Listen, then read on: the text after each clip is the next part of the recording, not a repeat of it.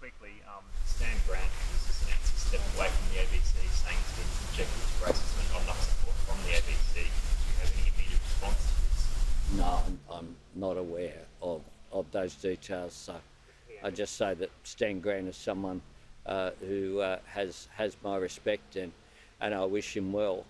Uh, I think we need to be uh, really uh, really cognizant in the lead up to uh, the referendum that will be held in the fourth quarter of this year about uh, some of the hurtful comments uh, that have been made.